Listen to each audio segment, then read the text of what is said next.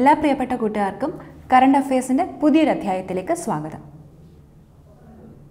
അപ്പോൾ കഴിഞ്ഞ ദിവസത്തെ ക്വസ്റ്റ്യൻ ആയിരുന്നു ഏറ്റവും ദൈർഘ്യമേറിയ നോൺ സ്റ്റോപ്പ് യാത്ര നടത്തിയ ഫ്ലൈറ്റ് ഏതാണെന്നുള്ളൊരു ക്വസ്റ്റ്യൻ ചോദിച്ചിട്ടാണ് നമ്മൾ പിരിഞ്ഞത്. അപ്പോൾ അതിന്റെ ഉത്തരം എന്താണ്? ഓസ്ട്രേലിയൻ കാരിയർ ആയിട്ടുള്ള കാന്റാസ് ആണ് ഇത്രയും ലോങ്ങസ്റ്റ് ആയിട്ടുള്ളൊരു കൊമേഴ്സ്യൽ ഫ്ലൈറ്റ് നടത്തിയത്. ന്യൂയോർക്കിൽ നിന്ന് സിഡ്നിയിലേക്കുള്ള യാത്ര. പത്തൊൻപത് മണിക്കൂറും പതിനാറ് മിനിറ്റും എടുത്തു ഈ ഒരു യാത്രയ്ക്ക്.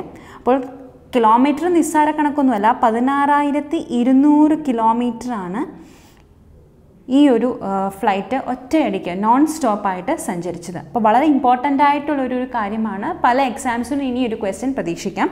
ഓസ്ട്രേലിയൻ കാരിയർ കാന്റാസ് ആണ് ഉത്തരം.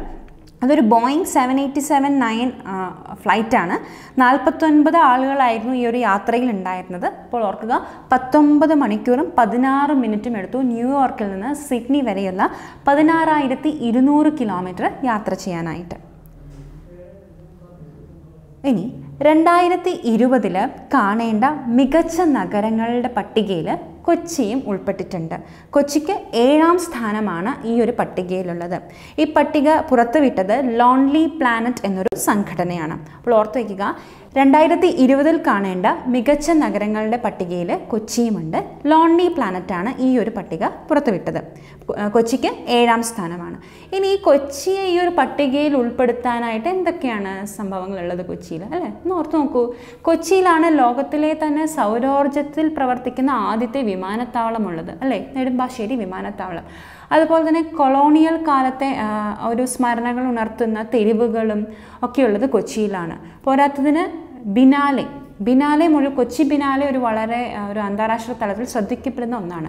അപ്പോൾ ഈ ഒരു ഫാക്ടേഴ്സൊക്കെ ഒരു എന്തൊരു ഒരു മിക്സഡ് ഹെറിറ്റേജ് ഷോ അല്ലെങ്കിൽ മിക്സഡ് ഹെറിറ്റേജ് ഉള്ള ഒരു സ്ഥലമാണ് എന്നുള്ള ഒരു പ്രത്യേകതയാണ് കൊച്ചിക്ക് ഈ ഒരു ലോൺലി റിപ്പോർട്ടിലുള്ളത് ലോൺലി പ്ലാനറ്റിന്റെ റിപ്പോർട്ടിലുള്ളത് അപ്പോൾ അതുകൊണ്ട് തന്നെയാണ് ഈ ഒരു പ്രത്യേകതകൾക്കൊക്കെ കൊണ്ട് തന്നെയാണ് കൊച്ചിയും ഈ ഒരു പട്ടികയിൽ ഇടം നേടിയത്. ഈ പട്ടികയിൽ ഒന്നാം സ്ഥാനം ലഭിച്ചിരിക്കുന്നത് ഓസ്ട്രിയയിലെ സാൽബർഗ് എന്ന സ്ഥലത്തിനാണ്. രണ്ടാം സ്ഥാനം വാഷിങ്ടൺ ഡി സി മൂന്നാം സ്ഥാനം ഈജിപ്തിലെ കൈറോ കെയ്റോയ്ക്കാണ് അപ്പോൾ ഏഴാം സ്ഥാനമാണ് കൊച്ചിക്ക്. ഇനി എൻ സി ആർ ബി റിപ്പോർട്ടിനെ കുറിച്ചാണ് പറയുന്നത്. നാഷണൽ ക്രൈം റെക്കോർഡ്സ് ബ്യൂറോ പുറത്താക്കി പുറത്തിറക്കിയ ഒരു റിപ്പോർട്ടാണ്. ഈ റിപ്പോർട്ട് പ്രകാരം സ്ത്രീകൾക്കെതിരെയുള്ള അതിക്രമങ്ങൾ അല്ലെങ്കിൽ സ്ത്രീകൾക്കെതിരെയുള്ള അക്രമങ്ങളിൽ ഏറ്റവും മുൻപിൽ നിൽക്കുന്നത് ഉത്തർപ്രദേശാണെന്നുള്ളതാണ് ആദ്യത്തെ പോയിന്റ് മറ്റൊരു പോയിന്റ് കലാപങ്ങൾ ഏറ്റവും കൂടുതൽ റിപ്പോർട്ട് ചെയ്തിട്ടുള്ളത് ബീഹാറിലാണ്. പിന്നെ ഈ റിപ്പോർട്ട് അനുസരിച്ച് ഷെഡ്യൂൾഡ് കാസ്റ്റിനെതിരെയുള്ള ആക്രമങ്ങൾക്ക് കൂടുതലാണ് ഉണ്ടായിരിക്കുന്നത്. ഷെഡ്യൂൾഡ് പട്ടിക ജാതിക്കാർക്കെതിരെയുള്ള ആക്രമണ ആക്രമണങ്ങൾ കൂടുകയും പട്ടിക വർഗത്തിനെതിരെയുള്ള ഒരു ക്രൈംസ് കുറയുകയും ചെയ്തിട്ടുണ്ടെന്നാണ് ഈ ഒരു N C R B report പ്രകാരം പറയുന്നത്. പിന്നെ ഡൽഹിക്ക് ആണ് ഏറ്റവും കൂടുതൽ ക്രൈം റേറ്റ് ഉള്ള എന്നൊരു മോശമായൊരു വാർത്തയും കൂടിയാണ് ഇപ്പോൾ ഉള്ളത്. ഈ ഒരു N C R B report പ്രകാരം Delhi has the highest crime rate in the country with one zero five zero ആയിരത്തി അൻപത് crimes committed per one lakh of the people ഒരു ലക്ഷം ആളുകൾ എടുത്താൽ ആയിരത്തി അൻപത് ക്രൈംസാണ് ഡൽഹിയിൽ റിപ്പോർട്ട് ചെയ്തിരിക്കുന്നത്. അപ്പോൾ നമ്മളുടെ ക്യാപിറ്റലാണ് ഡൽഹിയിലാണ് ഇപ്പോൾ ഏറ്റവും കൂടുതൽ ക്രൈം റേറ്റ് ഉള്ളത്. സ്ത്രീകൾക്കെതിരെ അക്രമം കൂടുതലായിട്ടുള്ള സ്ഥലം ഉത്തർപ്രദേശ്. കലാപങ്ങൾ കൂടുതൽ നടക്കുന്ന സ്ഥലം ബീഹാർ. പിന്നെ മറ്റൊരു ഇപ്പോൾ ഫേക്ക് ന്യൂസിന്റെയും ഫോൾസ് ഡേറ്റയുടെയും ഒരു കാലമാണ്. അപ്പോൾ ഈ N C R B report പ്രകാരം ആദ്യമായിട്ടാണ് ഈ ഫേക്ക് ന്യൂസ് ഫോൾസ് ഡേറ്റ അല്ലെങ്കിൽ റൂമേഴ്സിനെ കുറിച്ചിട്ടൊരു കണക്കെടുക്കുന്നത്. ഈ ഒരു കണക്കെടുപ്പ് പ്രകാരം മധ്യപ്രദേശിൽ നിന്നാണ് ഏറ്റവും കൂടുതൽ ഫോൾസ് അതായത് തെറ്റായ വാർത്തകൾ അല്ലെങ്കിൽ റൂമേഴ്സ് കൂടുതലും ഉണ്ടായിട്ടുള്ളത് മധ്യപ്രദേശിൽ നിന്നാണ്. പുറകെ തന്നെ ഉത്തർപ്രദേശും കേരളവും ഉണ്ട് ഓക്കെ. അപ്പോൾ ഇതാണ് ഈ N C R B report main points ഞാൻ പറഞ്ഞതാണ് മെയിൻ പോയിന്റ്സ് ഒക്കെ ഓർത്ത് വയ്ക്കുക ഇനി പതിനായിരം കോടി രൂപയ്ക്ക് ആകാശ് പ്രൈം മിസൈലുകൾ വാങ്ങാൻ പ്രതിരോധ മന്ത്രാലയം ഒരു തീരുമാനമെടുത്തിട്ടുണ്ട്. നമ്മൾ D R D O defence research and development organisation നിർമ്മിച്ച ആകാശ് പ്രൈം മിസൈലുകളാണ് പ്രതിരോധ മന്ത്രാലയം ഇപ്പോൾ വാങ്ങാൻ തീരുമാനിച്ചിരിക്കുന്നത്. അപ്പോൾ ആകാശ് മിസൈലുകളെ കുറിച്ച് നമുക്കറിയാം. ഈ ആകാശ് മിസൈലുകളുടെ ഒരു മെച്ചപ്പെട്ട ഒരു എഡിഷനാണ് ആകാശ് പ്രൈം എന്ന് പറയുന്നത്. ഓക്കെ. അപ്പോൾ ചൈനയോടും പാകിസ്ഥാനോടുമൊക്കെ അതിർത്തി പങ്കിടുന്ന പതിനയ്യായിരം അടിയിൽ അധികം ഉയരത്തിലുള്ള പ്രദേശങ്ങളിലേക്കാണ് ഈ ആകാശ് പ്രൈമിന്റെ ഉപയോഗം കൂടുതലും ഉണ്ടാവുക. അപ്പോൾ ഈ പതിനയ്യായിരം അടിയിൽ അധികം ഉയരത്തിലുള്ള പ്രദേശം എന്ന് ഉദ്ദേശിക്കുന്നത് തീർച്ചയായിട്ടും ലഡാക്ക് മേഖലയിലൊക്കെ ആയിരിക്കും. കൂടുതലായിട്ടും ഈ ആകാശ് പ്രൈം എന്ന മിസൈൽ ഉപയോഗപ്പെടുത്തുക. അപ്പോൾ പുറത്തു നിന്ന് വാങ്ങാമെന്നൊക്കെ ആയിരുന്നു ആദ്യം ഗവൺമെന്റ് തീരുമാനിച്ചിരുന്നത്. പിന്നെ ഇന്ത്യയിലെ മേക്ക് ഇൻ ഇന്ത്യ പ്രോഗ്രാമിന്റെ ഭാഗമായിട്ട് ഡി ആർ ഡി ഒ നിർമ്മിച്ച ആകാശ് പ്രൈം മിസൈലുകൾ തന്നെ വാങ്ങാനായിട്ട് പ്രതിരോധ മന്ത്രാലയം തീരുമാനിക്കുകയായിരുന്നു. ഇനി ബാറ്റിൽ ഓഫ് മിഡ്വേയിലെ ജാപ്പനീസ് കപ്പലുകൾ കണ്ടെത്തി എന്നൊരു വാർത്ത പലരും ശ്രദ്ധിച്ചിട്ടുണ്ടാവും. അപ്പോൾ ബാറ്റിൽ ഓഫ് മിഡ്വേ എന്താണ്? ഈ രണ്ടാം ലോക മഹായുദ്ധ കാലത്ത് അമേരിക്കയും ജപ്പാനും തമ്മിൽ നടന്ന ഒരു സമുദ്ര പോരാണ് ബാറ്റിൽ ഓഫ് മിഡ്വേ എന്ന് പറയുന്നത്. മിഡ്വേ അറ്റോൾ ദ്വീപുകളിൽ ദ്വീപുകൾ കീഴടക്കാനായിട്ട് ജപ്പാൻ പോവുകയും ജപ്പാൻ അവിടെ എത്തുന്നതിന് മുമ്പ് ജപ്പാനെ തടയാൻ അമേരിക്ക വരികയും ഒക്കെ നടന്ന ഒരു സമുദ്ര പോരാണ് ഈ ബാറ്റിൽ ഓഫ് മിഡ്വേ എന്ന് പറയുന്നത്. അപ്പോൾ ജപ്പാനിൽ ജപ്പാൻ പേൾ ഹാർബറിൽ ആക്രമിച്ച ആറ് മാസത്തിന് ശേഷമാണ് ഈ ഒരു ബാറ്റിൽ ഓഫ് മിഡ്വേ നടക്കുന്നത്. അപ്പോൾ നാല് ദിവസം നീണ്ട ഒരു യുദ്ധമായിരുന്നു ഇത്. അപ്പോൾ ഈ യുദ്ധത്തിന് പുറപ്പെട്ട കപ്പലുകളിൽ പലതും ശാന്ത സമുദ്രത്തിൽ ശാന്തസമുദ്രത്തിൽ മുങ്ങിപ്പോവുകയുണ്ടായി. അപ്പോൾ അതിൽ രണ്ട് കപ്പലുകളാണ് ഇപ്പോൾ കണ്ടെത്തിയിരിക്കുന്നത്. കാഗയും അകാഗിയും കപ്പലുകളുടെ പേരാണ് ജാപ്പനീസ് കപ്പലുകളാണ് ഇപ്പോൾ കണ്ടെത്തിയിരിക്കുന്നത്. കാഗയും അകാഗിയുമാണ് ഈ കപ്പലുകളുടെ പേര്. അപ്പോൾ സമുദ്രത്തിൽ പതിനെണ്ണായിരം അടി താഴ്ചയിൽ പെട്രൽ എന്ന കപ്പൽ ഉപയോഗിച്ചിട്ടുള്ള തിരച്ചിലിലാണ് ഈ രണ്ട് ജാപ്പനീസ് കപ്പലുകൾ ഇപ്പോൾ ലഭിച്ചിരിക്കുന്നത്. അപ്പോൾ ലോകത്തിലെ ഏറ്റവും വലിയ സംരക്ഷിത സമുദ്ര മേഖല എന്നറിയപ്പെടുന്ന പപാഹ നോമോക്വാക്കി മറൈൻ നാഷണൽ സ്മാരക മേഖലയിൽ നിന്നാണ് ഇത് കണ്ടെത്തിയത്. അപ്പോൾ ഒരു പോയിന്റും കൂടി ഇവിടെ ഓർത്ത് വയ്ക്കുക ലോകത്തെ ഏറ്റവും വലിയ സംരക്ഷിത സമുദ്ര മേഖല എന്നറിയപ്പെടുന്നത് പപാഹ നോമോക്വാക്കി മറൈൻ നാഷണൽ സ്മാരക മേഖല ആ പേര് കുറച്ച് ഡിഫിക്കൽട്ടാണ് പപാഹ നോമോക്വാക്കി മറൈൻ നാഷണൽ സ്മാരക മേഖലയിൽ നിന്നാണ് ഇപ്പോൾ കാഗയും അക്കാകയും കണ്ടുപിടിച്ചിരിക്കുന്നത്. അപ്പോൾ തിരച്ചിൽ നടത്തിയ ആ കപ്പലിന്റെ പേര് വളരെ ഇമ്പോർട്ടന്റ് ആണ്. പെട്രൽ എന്നാണ് ആ കപ്പലിന്റെ പേര്. അപ്പം മൈക്രോസോഫ്റ്റ് സഹസ്ഥാപകനായ പോൾ അലൻ സ്ഥാപിച്ച വുൾക്കാൻ കമ്പനിയുടെ ഉടമസ്ഥതയിലുള്ള ഒരു കപ്പലാണ് പെട്രൽ എന്ന ആ തിരച്ചിൽ നടത്തിയ കപ്പലിന്റെ പേര്. ഐ മീൻ ഉടമസ്ഥതയുള്ളത് പോൾ അലൻ സ്ഥാപിച്ച വുൾക്കാൻ കമ്പനിയാണ്. അപ്പോൾ ആ കമ്പനിയുടെ ഉടമസ്ഥതയിലുള്ള കപ്പലാണ് പെട്രൽ എന്നത്. അപ്പോൾ ഇത് ക്ലിയർ ആണെന്ന് വിചാരിക്കുന്നു. അപ്പോൾ ഏഴ് കപ്പലുകൾ മുങ്ങിപ്പോയിരുന്നു. അതിൽ നാലെണ്ണം ജപ്പാന്റെയും മൂന്നെണ്ണം അമേരിക്കയുടെയുമായിരുന്നു. ഇപ്പോൾ രണ്ട് ജപ്പാൻ കപ്പലുകൾ തിരിച്ചു കിട്ടിയിരിക്കുകയാണ്. ഇനി കുറച്ച് വിശേഷങ്ങൾ കൂടി നോക്കാം. തലസ്ഥാന നഗരിയിൽ വെള്ളക്കെട്ട് ഇല്ലാതാക്കാനും ഓടകൾ വൃത്തിയാക്കാനും ഒരു പദ്ധതി നടപ്പാക്കിയിരുന്നു. ആ പദ്ധതിയുടെ പേര് ഓപ്പറേഷൻ അനന്ത എന്നുള്ളതായിരുന്നു. ഇപ്പോൾ കൊച്ചിയിലെ വെള്ളക്കെട്ട് അല്ലേ? കനത്ത മഴയിൽ കൊച്ചി നഗരത്തിലുണ്ടായ രൂക്ഷമായ വെള്ളക്കെട്ട് ഒഴിവാക്കുന്നതിനായിട്ട് നടത്തിയ പദ്ധതിയാണ് ഓപ്പറേഷൻ ബ്രേക്ക് ത്രൂ അപ്പോൾ ഓപ്പറേഷൻ ബ്രേക്ക് ത്രൂ ആണ് ഇപ്പോൾ റീസെന്റ് ന്യൂസ് എന്ന് പറയുന്നത്. അപ്പോൾ അതുമായിട്ട് ബന്ധപ്പെട്ടിട്ട് തിരുവനന്തപുരത്ത് നടത്തിയ ഒരു പദ്ധതിയാണ് ഓപ്പറേഷൻ അനന്ത എന്നുള്ളത്. അപ്പോൾ ഓർത്ത് വയ്ക്കുക ഓപ്പറേഷൻ അനന്ത തിരുവനന്തപുരത്ത് നടത്തിയ പദ്ധതിയും ഓപ്പറേഷൻ ബ്രേക്ക് ത്രൂ കനത്ത മഴയിൽ കൊച്ചി നഗരത്തിലുണ്ടായ രൂക്ഷമായ വെള്ളക്കെട്ട് ഒഴിവാക്കുന്നതിന് നടത്തിയ പദ്ധതിയുമാണ്. ഇനി ജപ്പാനിൽ നറുഹിതോ ചക്രവർത്തി സ്ഥാനാരോ സ്ഥാനാരോഹിതനായി.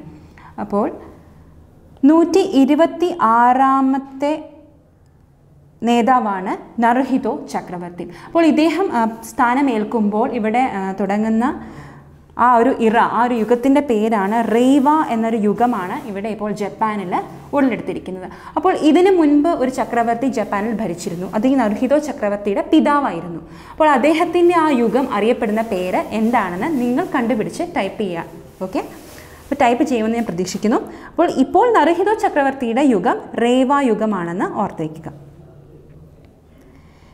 ഇനി കേന്ദ്ര ഇലക്ട്രോണിക്സ് ഐ ടി മന്ത്രാലയം നാസ്കോമിന്റെ സഹകരണത്തോടെ ഏർപ്പെടുത്തിയ startup leader of the year പുരസ്കാരം മലയാളി സംരംഭകയായ മാബേൽ ചാക്കോയ്ക്കാണ് ലഭിച്ചത്. Startup leader of the year പുരസ്കാരം ലഭിച്ചത് മാബേൽ ചാക്കോ. ബംഗളൂരു ആസ്ഥാനമായുള്ള ഓപ്പൺ എന്ന ഒരു സ്റ്റാർട്ടപ്പാണ് മാബേൽ ചാക്കോയുടേത്. അപ്പോൾ ഇതിന്റെ സഹസ്ഥാപകയും ചീഫ് ഓപ്പറേറ്റിംഗ് ഓഫീസറുമാണ് മാബേൽ ചാക്കോ. അപ്പോൾ startup leader of the year പുരസ്കാരം ലഭിച്ചത് മാബേൽ ചാക്കോ. മാബേൽ ചാക്കോയുടെ സ്റ്റാർട്ടപ്പിന്റെ പേര് ഓപ്പൺ.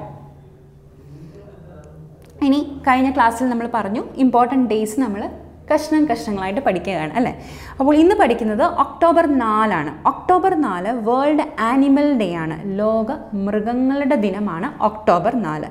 ഈ ഒരു ദിനം ആചരിക്കുന്നത് യു കെ ബേസ് ആയിട്ടുള്ള ഒരു ആനിമൽ വെൽഫെയർ ചാരിറ്റി ഫൗണ്ടേഷൻ ആയിട്ടുള്ള നേച്ചർ വാച്ച് ആണെന്ന് ഓർത്തു വയ്ക്കുക വേൾഡ് ആനിമൽ ഡേയുടെ പിന്നിൽ പ്രവർത്തിക്കുന്നത് അല്ലെങ്കിൽ സ്പോൺസർ ചെയ്യുന്നത് നേച്ചർ വാച്ച് ഫൗണ്ടേഷൻ ആണെന്ന കാര്യം ഓർത്തു വയ്ക്കുക അപ്പോൾ വേൾഡ് ആനിമൽ ഡേ ഒക്ടോബർ നാല്. ഇനി വേൾഡ് ടീച്ചേഴ്സ് ഡേ ഒക്ടോബർ അഞ്ചിനാണ്. നമ്മളുടെ ദേശീയ അധ്യാപക ദിനം സെപ്റ്റംബർ അഞ്ചിനാണെങ്കിൽ ലോക അധ്യാപക ദിനം ഒക്ടോബർ അഞ്ചിനാണ്. ഒക്ടോബർ അഞ്ചിന് നടക്കുന്ന ഈ രണ്ടായിരത്തി പത്തൊൻപതിൽ നടന്ന അധ്യാപക ദിനത്തിന്റെ ലോക അധ്യാപക ദിനത്തിന്റെ തീമാണ് young teachers the future of the profession എന്നുള്ളത്. Young teachers the future of the profession എന്നതായിരുന്നു തീം ഇനി ഈ വേൾഡ് ടീച്ചേഴ്സ് ഡേ നടത്തുന്നത് UNICEF U N D P international labour organisation education international എന്നീ സംഘടനകൾ എല്ലാം കൂടെ ചേർന്നിട്ടാണ് ലോക അധ്യാപക ദിനം ആചരിക്കുന്നത്. ക്ലിയർ ആണെന്ന് വിചാരിക്കുന്നു? ഇനി ഇന്ത്യൻ എയർഫോഴ്സ് ഡേ ആണ് ഒക്ടോബർ എട്ട്. രണ്ടായിരത്തി പത്തൊൻപതിൽ നടന്നത് എയർഫോഴ്സിന്റെ എൺപത്തി ഏഴാമത് ഇന്ത്യൻ എയർഫോഴ്സ് ഡേ ആണെന്ന പോയിന്റ് ഓർത്തിക്കുക അപ്പോൾ ഒക്ടോബർ എട്ടാണ് ഇന്ത്യൻ എയർഫോഴ്സ് ഡേ അപ്പോൾ ഈ ഇന്ത്യൻ എയർഫോഴ്സ് ഡേയുടെ എൺപത്തി ഏഴാമത് ആനിവേഴ്സറി ആണ് രണ്ടായിരത്തി പത്തൊൻപതിൽ നടന്നതെന്ന് സൂചിപ്പിച്ചു കഴിഞ്ഞിരിക്കുന്നു. ഇതിന്റെ സെലിബ്രേഷൻസ് ഒക്കെ നടന്നത് ഹിൻഡൻ എയർപോർട്ട് സ്റ്റേഷനിലാണ് ഗാസിയാബാദിലുള്ള ഹിൻഡൻ എയർ എയർഫോഴ്സ് സ്റ്റേഷനിലാണ് അപ്പോൾ ഹിൻഡൻ എയർപോർട്ട് കഴിഞ്ഞൊരു ദിവസത്തെ വാർത്തയിലും നമ്മൾ കണ്ടിരുന്നു അല്ലേ? ഡൽഹിയിലെ രണ്ടാമത്തെ എയർപോർട്ട് കൊമേഴ്സ്യൽ ഫ്ലൈറ്റ്സ് യാത്ര ചെയ്യാൻ ആരംഭിച്ച ഒരു എയർപോർട്ടാണ് ഹിൻഡൻ എയർപോർട്ട് അപ്പോൾ ഈ ഒരു എയർഫോഴ്സ് സ്റ്റേഷനിലാണ് ഹിൻഡൻ എയർഫോഴ്സ് സ്റ്റേഷനിൽ വെച്ചിട്ടാണ് ഈ എയർഫോഴ്സ് ഡേയുടെ സെലിബ്രേഷൻസ് ഒക്കെ നടന്നതെന്ന് ഓർത്തേക്കുക ഇനി ഇതേ ദിവസം തന്നെ ഇന്ത്യൻ എയർഫോഴ്സ് ഡേയുടെ അന്ന് തന്നെയാണ് രാജ്നാഥ് സിംഗ് റാഫേൽ ഫ്ലൈറ്റ്സ് സ്വീകരിച്ചത്. ഫ്രാൻസിൽ നിന്ന് റാഫേൽ ഫ്ലൈറ്റ്സ് സ്വീകരിച്ചതും ഇന്ത്യൻ എയർഫോഴ്സ് ഡേയുടെ അന്ന് തന്നെയാണെന്ന് ഓർത്തിക്കുക Rajnath Singh to to delivery of India's newest multi role fighter jet Rafale in France ഇനി വേൾഡ് പോസ്റ്റ് ഡേയും നാഷണൽ പോസ്റ്റ് ഡേയും വേൾഡ് പോസ്റ്റ് ഡേ വരുന്നത് ഒക്ടോബർ ഒൻപതിനാണെങ്കിൽ ദേശീയ പോസ്റ്റ് ഡേ ദേശീയ തപാൽ ദിനം വരുന്നത് ഒക്ടോബർ പത്തിനാണ്. അപ്പോൾ വേൾഡ് പോസ്റ്റ് ഡേ അതായത് ലോക തപാൽ ദിനം ഒക്ടോബർ ഒൻപതിനും ദേശീയ തപാൽ ദിനം ഒക്ടോബർ പത്തിനുമാണെന്ന് ഓർത്തേക്കുക. ഇനി ഈ ക്വസ്റ്റ്യൻ സൂപ്പർ സാറ്റർഡേ ഒരു രാജ്യത്തിന്റെ പാർലമെന്റുമായിട്ട് ബന്ധപ്പെട്ട ഒരു ടേമാണ് സൂപ്പർ സാറ്റർഡേ. അപ്പോൾ സൂപ്പർ സാറ്റർഡേ എന്താണ്? ഒരു രാജ്യത്തിന്റെ പാർലമെന്റുമായി ബന്ധപ്പെട്ട ഒരു ദിവസമാണ് സൂപ്പർ സാറ്റർഡേ എന്ന് പറഞ്ഞു. അപ്പോൾ അതെന്താണെന്ന് കൂട്ടുകാരെ കണ്ടെത്തി ടൈപ്പ് ചെയ്യുക. അറിയാവുന്നവർ കണ്ടെത്താനൊന്നും നിൽക്കണ്ട. ഇപ്പം തന്നെ ടൈപ്പ് ചെയ്തോളൂ. സൂപ്പർ സാറ്റർഡേ എന്താണ്? അപ്പോൾ ഇന്നത്തെ വേർഡ്സ് എന്തൊക്കെയാണെന്ന് നോക്കാം. ടാഡ്രി ടാഡ്രി എന്ന വാക്കിന്റെ അർത്ഥം showy but cheap and of poor quality എന്നാണ്. പുറം പകിട്ടുള്ള ഗുണശൂന്യമായ എന്നുള്ളൊരു മീനിങ് ആണ് ടോഡ്രി എന്ന വാക്കിനുള്ളത്. അതൊരു വിശേഷണമാണ്. അപ്പോൾ പുറം പകിട്ട് മാത്രം അതായത് ചില വസ്തുക്കൾ നമ്മൾ കടയിലേക്ക് കയറുമ്പോൾ അത് നമ്മളെ ഭയങ്കരമായിട്ട് ആകർഷിക്കും. പക്ഷേ അത് വാങ്ങിച്ച് അതിന് നല്ല വിലയുമായിരിക്കും. അത് വാങ്ങിച്ച് വീട്ടിലെത്തി കഴിയുമ്പോഴാണ് അത് വെറും പുറം പകിട്ട് മാത്രമേ ഉള്ളൂ എന്ന് നമുക്ക് മനസ്സിലാവുന്നത് അല്ലേ? അപ്പോൾ നമുക്ക് ആ ഒരു സിറ്റുവേഷനിൽ ഉപയോഗിക്കാൻ പറ്റുന്ന വാക്കാണ് ടോഡ്രി എന്നുള്ളത്. T A W D R Y പുറം പകിട്ടുള്ള ഗുണശൂന്യമായ എന്നുള്ളതാണ് ഈ ഒരു വാക്കിന്റെ അർത്ഥം. അടുത്ത വാക്ക് യുബിക്വിറ്റസ് യുബിക്വിറ്റസ് എന്ന് പറയുന്നത് ഒരു വിശേഷണമാണ്. അപ്പോൾ എന്താണ് അതിന്റെ മീനിങ് എന്ന് നോക്കാം. Present appearing or found everywhere എല്ലായിടത്തും ഉള്ള എന്നുള്ളൊരു മീനിങ് ആണ് യുബിക്വിറ്റസ് എന്ന വാക്കിന്റെ അർത്ഥം. ഒംനി പ്രസന്റ് എവർ പ്രസന്റ് എന്ന വാക്കുകളും യുബിക്വിറ്റസിന്റെ സിനണിംസ് ആണ്.